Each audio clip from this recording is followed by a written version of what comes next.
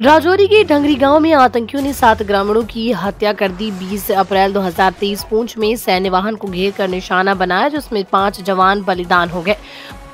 राजौरी के केसरी हिल क्षेत्र में आतंकी हमले में पाँच जवान बलिदान 22 नवंबर 23 नवंबर 2023 राजौरी के बाजीमाल क्षेत्र में मुठभेड़ में सेना के दो कैप्टन व तीन जवान बलिदान 22 दिसंबर 2023 पूंछ के टोपा पीर क्षेत्र में सैन्य वाहन पर हमला, सेना के चार जवान बलिदान 22 अप्रैल 2024 राजौरी के थाना मंडी के शाहदरा शरीफ इलाके के पास आतंकवादियों द्वारा की गई गोलीबारी में चालीस वर्षीय ग्रामीण की मौत हो गई।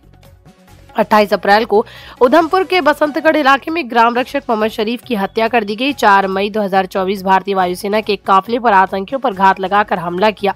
हमला पूंछ के शाह सितार इलाके में शनिवार शाम छह बजकर पंद्रह मिनट पर हुआ, जब एयरफोर्स की स्पेशल गरुड़ फोर्स आर्मी और Jammu Kashmir police search operation कर रही थी। चार आतंकियों ने सनाई टॉप जा रही सुरक्षा बलों की दो गाड़ियों पर फायरिंग की।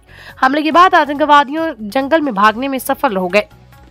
हमला करने के उपरांत आतंकी भागने में कामयाब रहे और मुठभेड़ में सेना का नुकसान ज़्यादा देखा गया। निकटवर्ती राजौरी के साथ सीमावर्ती पूंछ ज़िले में पिछले दो सालों में कुछ बड़े आतंकवादी हमले हुए, जो इस क्षेत्र में आतंकवादी गतिविधियों के माध्यम से शांति भंग करने के दुश्मन देश द्वारा किए जाने वाले प्रयास लगते हैं।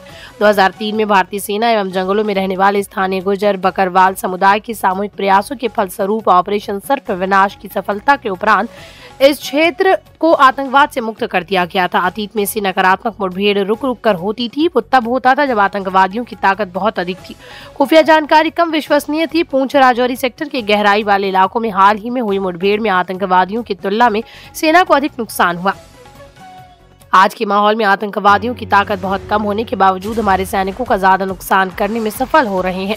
जो जनता का विषय होने के साथ ठोस कदम उठाने की ज़रूरत पर ध्यान केंद्रित होगा। पूंछ राजौरी सेक्टर में स्थानीय समर्थन का एक उतार चढ़ाव वाला इतिहास रहा। हालाँकि ये समय के साथ कम हुआ, लेकिन हाल ही की घटनाओं से विदित विपरीत दिशा में संकेत करता है शायद पाकिस्तान द्वारा हाल के वर्षों में आबादी को फिर से संगठित करने के कुछ गुप्त प्रयास हुए हैं। पीर पंजाल के जंगली और चट्टानी इलाकों में स्थानीय समर्थन के बिना इस प्रकार के हमले संभव नहीं हो सकते। अनुच्छेद 370 के निस्तारीकरण ने भी कश्मीर को अलगाववादी गतिविधियों के लिए मुश्किल बना दिया। लेकिन भारतीय सेना एवं सुरक्षा एजेंसियों का मंथन करना पड़ेगा कि पिछले वर्षों में क्या कुछ ऐसा हुआ जिसके कारण पाकिस्तान द्वारा इस प्रकार के उग्रवादी हमले करवाने में सफलता मिल पा रही है।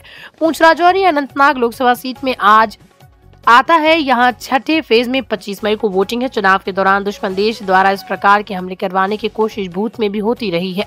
आज के दौर में खूब माफिया तंत्र के पास हर प्रकार की सुविधा एवं तंत्र उपलब्ध है तथा सुरक्षा बलों ने पूरे जम्मू कश्मीर में शांति कायम करने में सफल होने के बावजूद इस प्रकार के उग्रवादी हमले रोके जाने के हर संभव प्रयास करने होंगे तथा दुश्मन को मुँह तोड़ जवाब देना होगा। पाकिस्तान द्वारा जम्मू कश्मीर में उग्रवादी हमले करवाना एवं देश में नकारात्मक राजनीति करने वाले राजनीतिक व्यक्तियों द्वारा नागरिकों को गुमराह किए जाने की चर्चाओं का देश को मिलकर सामना करते हुए चुनाव को सफलतापूर्वक संपन्न कराना होगा।